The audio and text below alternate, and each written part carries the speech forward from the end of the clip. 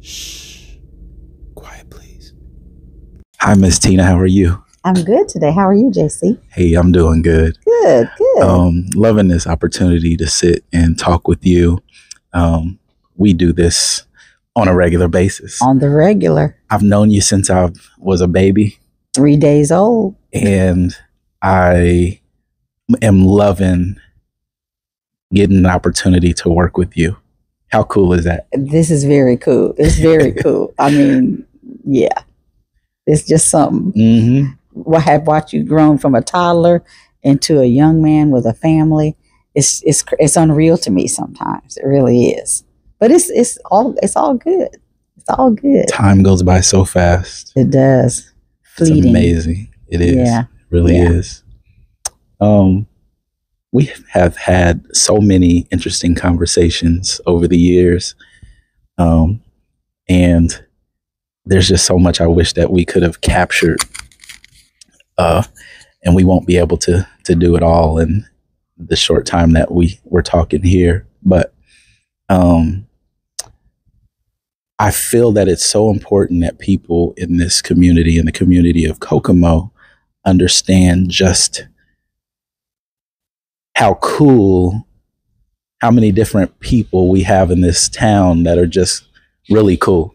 Yeah. And you're one of those for people for me. Well, now, you know, that's not a term I would think of with myself, but I'll take it, JC. I'll take it. yeah. Uh, but there are there are a lot of interesting people in Kokomo, and until you can sit down with people Mhm. and know their backstory, you really don't know. I mean, you just mostly we see what's on the surface. Right. When you really sit down, you'd be like, wow. You know, you're kind of blown away by some things that people have done, places they've been. So it, it's it's all good. It's all good. Relationships are everything. They are. And, you know, when I think about relationships, I think about just how fortunate I have been to, well, let's start from the beginning, just how awesome my parents are. Yeah. You know, Yeah. and, I, I, and so the, the relationship that I have with you stems from you and my mother being best friends for years. hmm Yeah. Yeah. And so what has what has that relationship been like and meant to you over the years? You know, when I first moved here in 82, you know, didn't know a soul. And uh, Janet and JC were probably one of the first couples that I met when I moved here. I was, of course, married at the time. And uh, we just clicked. It was, it was like, you know how you can meet somebody and you feel at ease with them? Mhm. And uh, I found that they were like being in a room with my own brother and sister. Wow. You know, when the laughs come easy Yeah. and ev you have a lot in common, and it was just good from the get go. Mhm. Uh, just a good relationship, and, and and you know, over time, you know, Janet and I don't see each other a lot, but when we do, we pick up from wherever it is, and it just it just goes from Yeah. there. It goes from there. That's how you know it's like real, true, real, a friendship. Absolutely, That's, it's just it's absolutely. truth. Um, and I have a, I can think of a number of friends that we don't have to be speaking to each other all the time, seeing each other, but the moment that we do, is we just picking it right back up. Absolutely. That's, that's a it's a beautiful thing because I don't know is that rare in this day and time? I don't know if that is I, or not. I don't know. I would say that it is because if you really, if you listen to people, to young people, um, it seems to me that they're having difficulties developing relationships like that. hmm well, and the Um, pandemic didn't help. On some cases, it, it really didn't help. But yeah, I mean, you know what? My people are my people, Mhm. and they will continue to be my people yeah. until I don't have breath in my body. so that's how I feel about it. And I don't know if that says more about the person or if that's just where the direction society has taken hmm relationships. I can't put my finger on that. Yeah, yeah, It is different. It's it is different.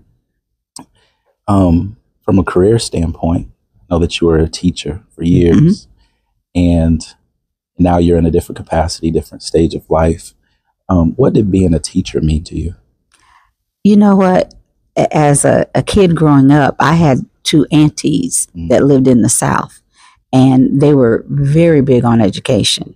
When they came to visit, they brought encyclopedias. Mm, I mean, you know, one aunt worked at the library. So whenever they had, you know, when you have things that are obsolete, we that's how we got our first set of encyclopedias was from them.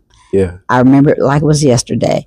Um, and there, I did not have a choice. I don't think my brother, any of us, had a choice. The expectation was Mhm. that we were going to college, and because my dad passed away when I was nine, I think my brother was fifteen or 16 Mhm. So you know, the family steps in when the when the father figure is gone. The family gets right in there, Right. and uh, yeah, Mm. we were going to do something. We were, they came every summer Yeah. and that's what we heard. So, uh, Wow. you know, and it, it wasn't a bad thing because all three of us kids uh, got our degrees hmm um, and started doing whatever it was that we loved to do. And when I was a kid, JC, I used to love when it was time to get school supplies because the smell of that newsprint paper Yeah. that had the, uh, I think it was a Wyandotte, Wyandotte Indian on the front and it was yellow paper in the tablet.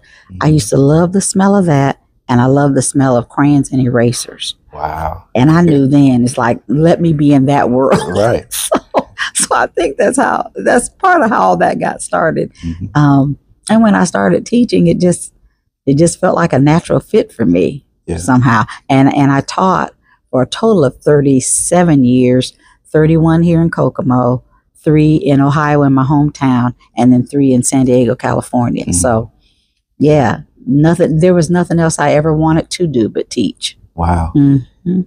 and that's that's special. Um, and since you've been retired, I could tell how impactful that you know education has been to you in your life, and just how much you would enjoy and appreciate engaging with young people, because now you um, are in a capacity to to continue to do that same thing as one of the first welcoming faces that people see, young people see when they come onto the campus of IU Kokomo at the welcome desk here at Alumni Hall on campus.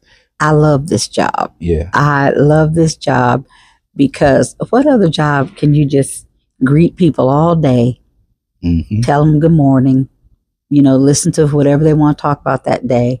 Um, what I really like as far as the students, they will come and they might tell me something that's going on in their life and I can say this, that, or the other. Or I always try to get them to see that, you know, you have options. hmm Everybody doesn't have options. You have options. Yeah. Um, even even when they're working a job and maybe they say, "Well, all I do is," and I'm just a. I said, but you know what? You be the best, whatever it is you can be, Mhm. because somebody sees you. Right. So you know, I, I try to, I try to give them a little nugget of stuff. Not that I've had every experience in the world, but I try to give them what's true. hmm I can't I can't make up stuff. I only can tell them what I really know about, and uh, I love that. And I, I think you know, aside from that, it's just fun to you know talk to them because again, it's like being with nieces and nephews. It's all it, it keeps going back to family. Right. It keeps going back to that every time, hmm all the time. I just yeah, it's amazing to You're me collecting a new family member every day, every every day, academic year, every year. every day. Yeah. and it's it's oh gosh, it's so much fun, so much fun. That's special. That's special. You're a special person. Um, I think anybody who will listen to this and and already has a knowledge of you. Oh yeah. already has a knowledge of you and also who is just seeking that kind of person and personality. Um, you know, maybe maybe that'll draw them to the campus of IU Kokomo. Hey, I got to know Miss Tina. You know what? I'm an ambassador. I'm an ambassador for IU Kokomo. I'm also an ambassador for Central State University. But on the local level, I'm an ambassador for IU Kokomo. Um, I just want I want people to young people to uh, to reach their fullest potential. I want them to uh, whatever it is they decide to do. I want people to be happy. yeah. I'm happy for people when they uh, achieve their goals. I just want people to be happy. Life's too short not to be happy. Right. And uh, there was a saying I, I can't I can't give credit to the person who said this quote, Mhm. but uh, it said, you know, everybody gets to be young, but not everybody gets to be old. Ooh, So to me, powerful. you know, you go through those young years making good decisions, doing the right thing, being at the right time, taking opportunities when they come available. Because see, like again, everybody ain't able, JC. Yeah. You know, there's so taking advantage of those opportunities, you can have pretty decent life. Hmm Pretty decent life. You don't have to have all the money in the world, although yeah, that helps. But you can have a good life. You just need to find happiness and find joy Yeah. and maintain that joy and happiness. Yeah. And you got to fight for it Right. because you know people would try to take it away from you. Yep. But sure I, I, you got to fight for it. And when you fight for it, you sleep so good at night. you don't have to worry sleep. about stuff happening to you. It's Right. just like, okay, here, here we go. Yeah. Good life. A good life. Absolutely.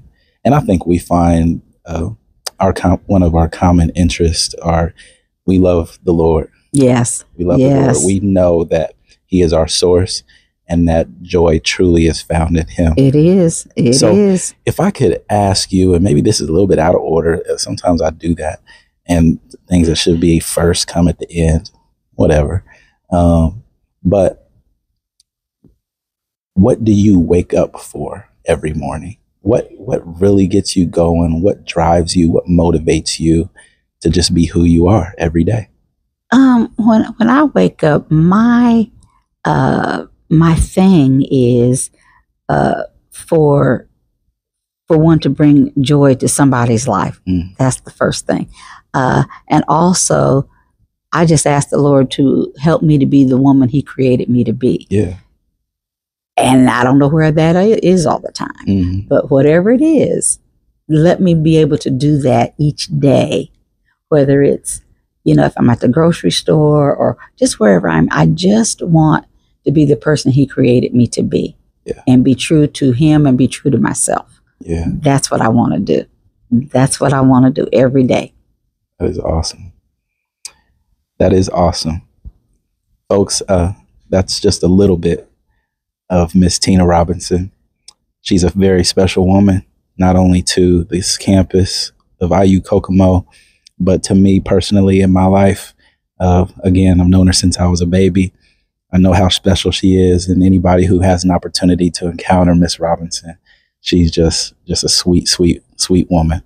Who are you So- talking about, JC? I'm talking about you. I'm just, I'm just, what you talking about, Willis?